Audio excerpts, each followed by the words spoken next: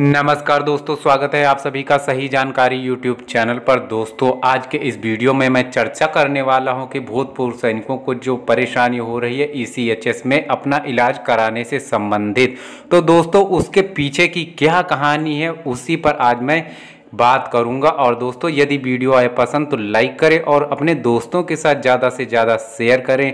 और यदि चैनल पर नए हैं तो इसे सब्सक्राइब करके घंटी के निशान को ज़रूर दबाएँ। तो शुरू करता हूँ इस वीडियो को। दोस्तों, आपको बताना चाहूँगा कि 19 जुलाई को ही मैंने ये वीडियो बनाया था, जो आप स्क्रीन पर देख रहे हैं, जिसमें माननीय रक्षा मंत्री जी की ओर से एक जवाब आया था। ईसीएचएस में हो रही परेशानियों को लेकर के उन्होंने बड़ा लंबा चौड़ा उत्तर दिया था लोकसभा के अंदर। जिन लोगों ने नहीं देखा, वो आई बटन में सजेस्ट हो रहे वीडियो पर क्लिक करके भी देख सकते हैं, या फिर डिस्क्रिप्शन में लिंक है, वहाँ से भी देख सकते हैं। तो दोस्तों, उन्होंने ये व्याख्यान दिया था कि जो भी ईसीएचएस के अंदर परेशानियाँ हो रही हैं, उन पर एक्शन लिया जाता है और बहुत सारी योजनाएँ जो हैं वो ईसीएचएस में लागू की गई हैं और बहुत सारी फैसिलिटी सैनिकों को उपलब्ध कराई जा रही है। किसी प्रकार का कोई भी समस्या नहीं और हर तरफ़ बल्ले बल्ले है। यानी उनका कहने का यही मतलब था। लेकिन दोस्तों, उस वीडियो के ऊपर इतने सारे कमेंट्स आए और हर प्रकार का उसमें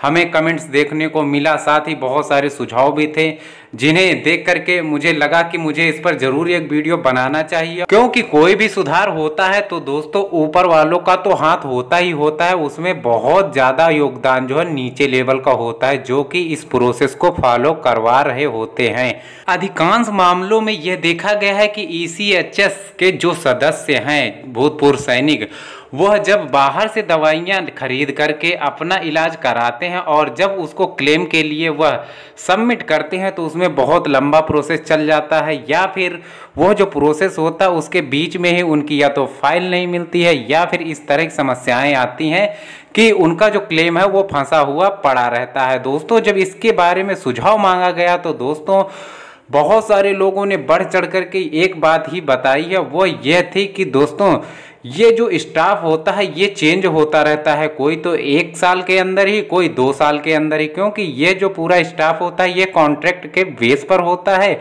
और जैसे ही कॉन्ट्रैक्ट खत्म हुआ, वैसे स्टाफ चेंज तो जो नया स्टाफ आता है, वो पहले वाली जो लोग ड्यूटियाँ कर रहे थे, वही सीखने में ही उनका जो समय है, वो बर्बाद हो जाता है।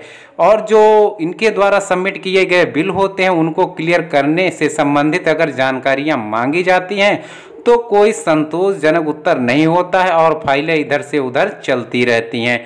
तो दोस्तों, जहाँ तक इसकी बात है तो मैं भी यही चाहूँगा कि ये जो स्टाफ है, इसको परमानेंट कर दिया जाए। हालाँकि इसे कैजुअल या जो भी इनका प्रोसेस है, जैसे कि ये लोग कॉन्ट्रैक्ट बेस पर रखते हैं, यानी कि एडॉक तो वैसे ही रखें, परंतु इन लोगों को परमा यानी अस्थायी रूप से रख लिया जाए। और यदि इनके खिलाफ किसी प्रकार का कोई भी डिसिप्लिन एक्शन लिया जाता है, किसी मामले में गड़बड़ी पाई जाती हो तो ज़रूर इन लोगों को निकाला जा सकता है। ऐसी कोई बाध्यता नहीं होनी चाहिए।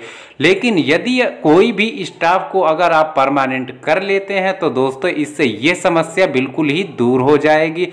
क्योंकि जो बंदा एक ही क्षेत्र में लगातार वही काम करता रहा, उसे हर प्रकार से हर चीज़ का नॉलेज हो जाता है, हर पॉलिसी के बारे में उसे पता हो जाता है और एक एक जो भी उसका क्लेम है, उसके बारे में उसे अच्छा खासा नॉलेज हो जाता है। इस वीडियो को जो भी लोग देख रहे हैं, चाहे वो सेवारत सैनिक हो अथवा रिटायर हो चुके सैन्य कर्मी तो दोस्तों मैं यही चाहूँगा और शायद आप भी यही चाहेंगे। तो इसलिए आप इस वीडियो को ज़्यादा से ज़्यादा शेयर करें, ताकि यह मामला उच्च अधिकारियों के साथ साथ ही उन लोगों तक भी पहुँचे, जैसे कि रक्षा मंत्री जी हैं। ताकि वो लोग इस पर कोई अच्छा और स्ट्रांग डिसीज़न ले सके और इसमें आप लोगों का भी भला हो सके। दोस्तों, अब मैं बात करता हूँ दूसरी समस्या के बारे में। तो अधिकतर दोस्तों, देखा गया कि पॉली क्लिनिक की जो दूरी है कहीं कहीं पर तो ये 200-250 किलोमीटर तक की दूरी पर भी स्थित है। तो सरकार को इस बारे में कुछ ना कुछ तो सोचना ही चाहिए और सैनिकों की सुविधाओं के लिए कम से कम हर ज़िले में एक पॉली क्लिनिक तो ज़रूर ही बनाना चाहिए। हालाँकि सरकार ने बोला है कि इस बारे में आगे धीरे धीरे काम बढ़ रहा है, परंतु दोस्तों इसे और जल्दी बढ़ाने की ज़रूरत है, ऐसा मेरा मानना है।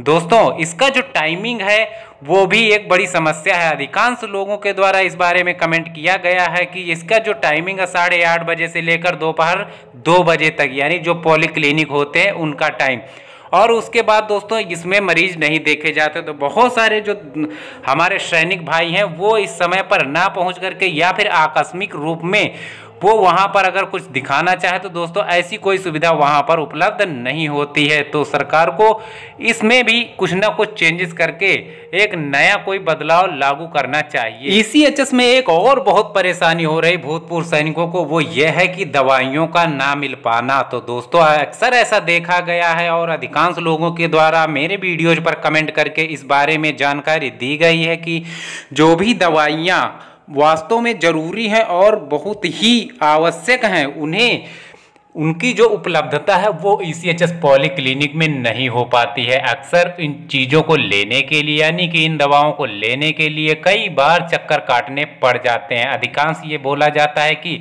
दो दिन बाद आकर के ले लेना। दोबारा बंदा जाता है तो फिर यही होता है कि आप ऐसा करना, अगले सप्ताह ले लेना। दोस्तों, यदि कोई दवाई चल रही है, उसके कोर्स में वो दवा शामिल की गई है, यदि उस बंदे को वह दवा मिल ही नहीं पाएगी तो वो ठीक कैसे होगा दोस्तों?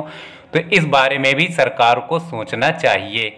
भूतपूर्व सैनिकों के द्वारा एक पॉइंट और उठाया गया है दोस्तों वीडियोज़ में कमेंट के माध्यम से कि जो डॉक्टर्स भर्ती किए जाते हैं E C H S polyclinic के अंदर तो उनका जो वेतन है उसे थोड़ा सा बढ़ाना चाहिए ताकि वेतन को देख करके सिविल में जो अच्छे अच्छे डॉक्टर्स हैं, वो भी E C H S polyclinic में अपनी सेवाएँ देने के लिए राज़ी हो जाएँ। यानी कि वो लोग भी कॉन्ट्रैक्ट करें ताकि जो सेवाएँ हैं वो और भी अच्छा और उम्दा क्वालिटी की हो जाए ताकि जो भी भूतपूर्व सैनिक E C H S polyclinic में अपना इलाज कराने के लिए जा रहे हैं, उन्हें बेहतर से बेहतर और अच्छी सेवाएँ मिल पाएँ और जो अच्छे डॉक्टर्स आते हैं, वो दोबारा कॉन्ट्रैक्ट में बने रहें ताकि वो अपनी अच्छी सेवाएँ दे पाएँ। जिन लोगों को यह वीडियो एकदम बेकार लगता है, वो लोग इसे डिसलाइक करें और कमेंट बॉक्स में हमें उसका कारण ज़रूर बताएँ।